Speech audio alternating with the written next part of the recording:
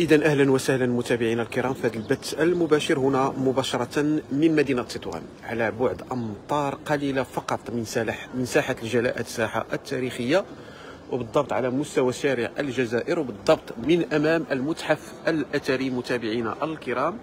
فللأسف الشديد فالشجرة كانت هنا تقريبا هذه ستة أشهر من طاحت وطبيعة الحال فمتابعينا الكرام فهذه الشجرة أول يعني ما طاحت فهي اصبحت تشكل عائق.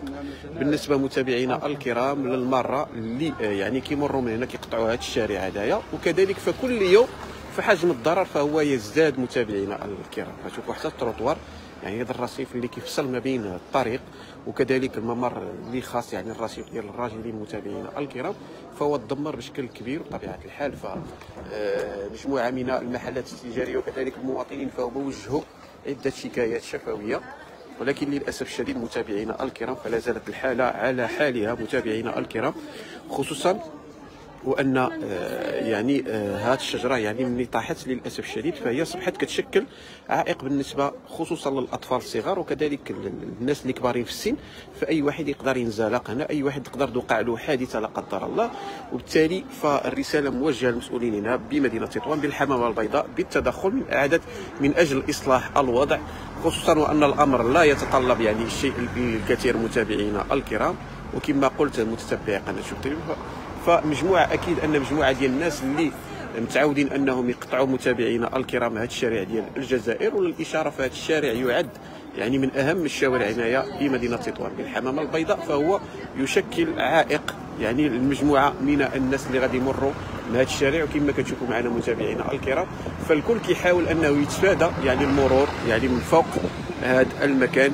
وكذلك فهو كيشوه من جمالية مدينة تطوان متابعينا الكرام خصوصا وأن مجموعة ديال السياح الأجانب فهما كيجيو في زيارة خاصة كما قلنا متابعينا الكرام للمسرح الأنثروبولوجي فهما أكيد أنهم كيمروا من هنايا يعني طبيعة الحال باش يدخلوا للمسرح الأنثروبولوجي هذايا اللي كاين هنايا مصر آه متحف عفوا آه اللي كيرجع للعهد ديال الرومان فأكيد بانهم مجرد أنهم كيمروا من هنايا كيشوفوا هذا اللي يمكن نقولوا هذه البؤرة اللي كتشوه من جمالية مدينة تطوان وكتقلل آه، من الجمالية ديال هذه المدينة. أكيد كما كتشاهدوا معنا متابعينا الكرام فهما مجموعة ديال السياح الأجانب فهما ماشيين وكما كنلاحظوا فكاين واحد الحفرة اللي هي كبيرة من بعد ما سقطت يعني الشجرة اللي كانت هنايا متابعينا الكرام متابعي قناة شوف تيفي فللأسف الشديد فكما كتشاهدوا فكل المواطنين اللي كيحاولوا أنهم يقطعوا هذا الشارع فهما كيحاولوا يتفادوا هذا المكان ديال الحفرة ذات الشجرة اللي سقطت هنايا.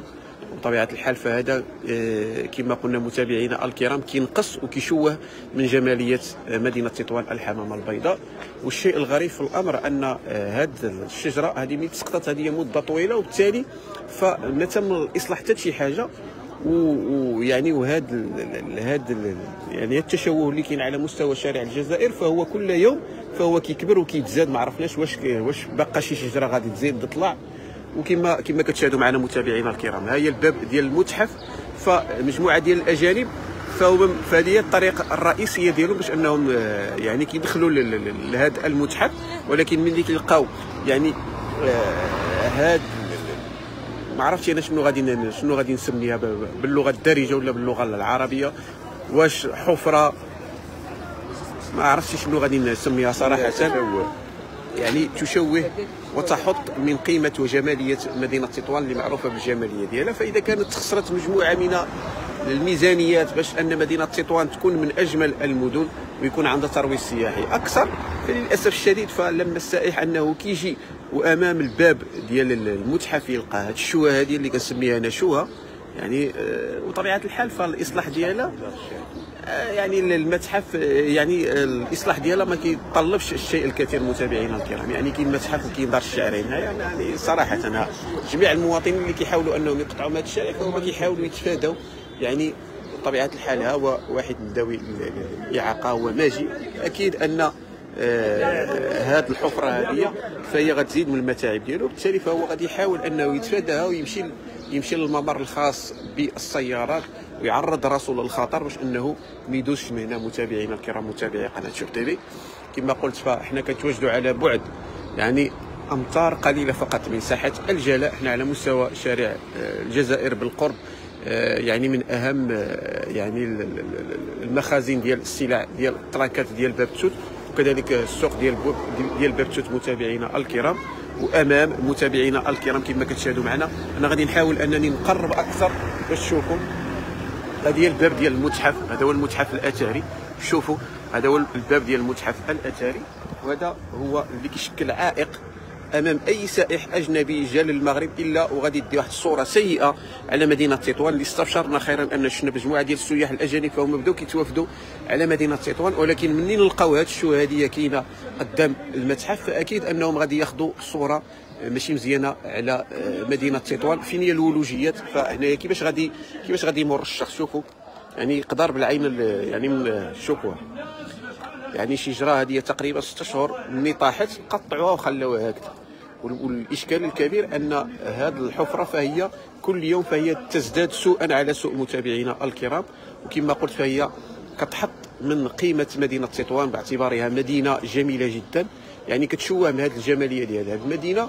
ولا الإشارة فمتابعينا الكرام فهذه الشوهة اللي غادي نسميها أنا شوهة فهي كتوجد يعني بالمقربة من أشهر شارع هنا بمدينة تطوان هو الشارع محمد الخامس آه، اللي كيتميز بالجمالية ديالو وكيرمز للتاريخ وعراقة واصاله مدينة تطوان اللي آه، ما عندهاش غير الاسم ديال الحمامة البيضاء فعندها الاسم آخر آه، اللي كيقولوه المؤرخين في الكتب ديالهم وهي بنت غرناطة نظرا للتشابه ديالها بالعمران ديالها الأندلسي الأصيل يعني ذات الطابع الأندلسي الأصيل.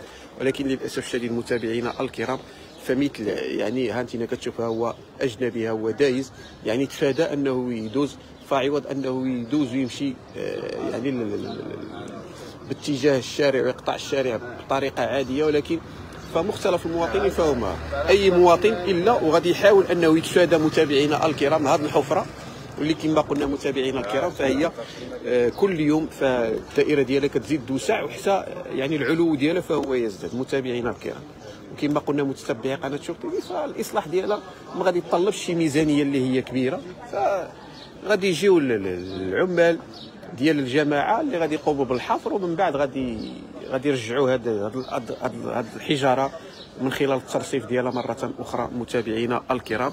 كما قلت في هذه تقريبا ست شهور والإشارة فمجموعه ديال التجار فهم اشتكوا من هذا العائق اللي اولا فهو كيشكل لهم عائق لأن بزاف ديال المواطنين فهما كيحاولوا أنهم يتفادوا باش ما يمروش من هنا وبالتالي آه، فأكيد إذا ما مروش من حداهم فأكيد يعني المبيعات ديالهم غادي تقلص ها متابعينا الكرام. ها مجموعة ديال السياح الأجانب ها هما خرجوا ها ها الشوها خرجوا من المتحف شافوا التاريخ ديال مدينة تطوان شافوا العراقة هذه المدينة ولكن للأسف الشديد بمجرد أنهم يخرجوا شنو غادي يشوفوا يعني من بعد ما تعرفوا على التاريخ آه، ديال احدى المدن العريقة هنا بمدينة تطوان وهي مدينة تامودا اللي كترجع للعهد الروماني.